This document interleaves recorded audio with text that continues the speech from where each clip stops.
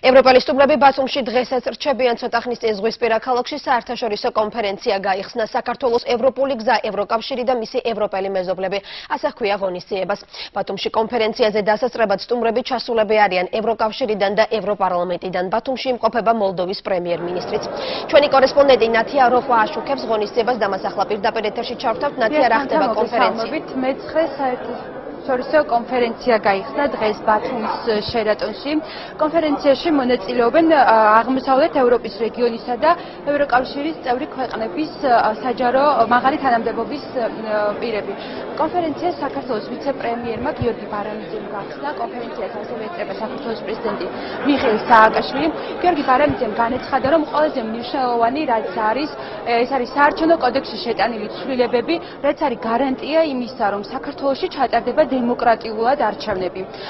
გამოსულ გამოსვლების შორის გამოსვლის დროს გიორგი ბარამიტემ ასევე ისაუბრა რუსეთ-საქართველოს კონფლიქტზე და იმედი გამოთქვა რომ რუსეთ-საქართველოს კონფლიქტი მოგვარდება მშვიდობიანი გზით. აი გამოსვლების სინქრონების ჩაწერის უფლება ჩვენ არ ქონდა, ამიტომ რამდენიმე ციტატას ყველაზე მთავარი გზავნილი რაც იყო საქართველოს პრეზიდენტის გამოსვლიდან და ევროკომისარის გამოსვლიდან ჩვენს მაყურებელს ესე წაუკითხო. საქართველოს პრეზიდენტმა თავის გამოსვლა ესე დაიწყო, წვიმიანი ამინდია, მაგრამ რამდენიმე საქმე არის, რასაც ვერ ვაკონტროლებთ ჩვენ განცხადა მიხეილ სააკაშვილმა და მან აღნიშნა რომ საქართველოს ევროპულ გზაზე ნამდვილად გადის. ბატონმა პრეზიდენტმა ასევე ისაუბრა იმაზე რომ საქართველოსი იკლო კრიმინალები კრიმინალმა და ხუთჯერ უფრო უსაფრთხოა საქართველოს ქვეყანა ვიდრე გერმანია, საფრანგეთი და რუსეთი. ჩვენ მაყურებელს აქვს ახლა შესაძლებლობა მოისმინოს ბატონ დავით ბაქრაძის კომენტარი, რომელიც კონფერენციის დაწყებამდე ჩაწერა ჩვენმა გადამღებმა ჯგუფმა. ევროკავშირში გაწევრიანება ნიშნავს საქართველოსთვის უსაფრთხო გარემოს, ნიშნავს ჩვენი მოქალაქეების და ოჯახებისთვის მეტ კეთილდღეობას და ნიშნავს განვითარებულ ქართულ დემოკრატიას. ამიტომ ჩვენთვის ეს არის ერთ-ერთი ძირითადი ამოცანა და ძალიან კარგია, რომ საქართველოს ევროკავშირში გაწევრიანებაზე ამდენი სერიოზული პოლიტიკოსი მუშაობს.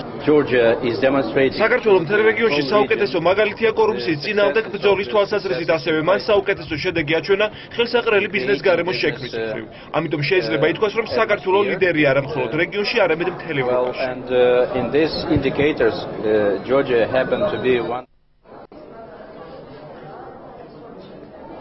რაც შეეხება ევროკომისარი ფულეს გამოსვას, მან განაცხადა, რომ საქართველოსში უნდა აშენდეს და განვითარდეს დემოკრატიული ინსტიტუტები. თავი აქცენტი გააკეთა ადამიანის უფლებებზე, სამართლიან სასამართლოზე და ასევე იმაზე, რომ მნიშვნელოვანია ოქტომბერში არჩევნები ჩაატარდეს დემოკრატიულად, ყველა ადამიანს კონდეს იმის შესაძლებლობა, რომ მისცეს გააკეთოს თავისუფალი არჩევნები და მიმართოს სამართლიან სასამართლოს თუ ამის შესაძლებლობა თუ ამის სურვილი გაუჩნდება რომელიმეს. ვინმეს რაც შეეხება ფულებს ასევე განეცხადა, რომ ისინი მზად ევროკავშირი მზად არის საქართველოს დამატებით კიდევ გამოუყოს 22 მილიონი ევრო და მისი რეკომენდაცია, რომ ეს 22 მილიონი ევრო, რომელიც ევროკავშირმა საქართველოს გამოუყო და ამის შესახებ განცხადება დღეს კონფერენციაზე გააკეთა ბატონმა ფულემ მოხმარდეს სწორედ ადამიანის უფლებების ადამიანის უფლებებს და სამართლიანი საქართველოს სამართლიანი სასამართლოს განვითარებას საქართველოში. რაც შეეხება კონფერენციას, ამ წუთებში არის შესვენება და შესვენების შემდეგ ისევ გაგრძელდება კონფერენცია. ეს ყონათია როყვა ბათუმში მიმდინარე საერთაშორისო კონფერენციის შესახებ.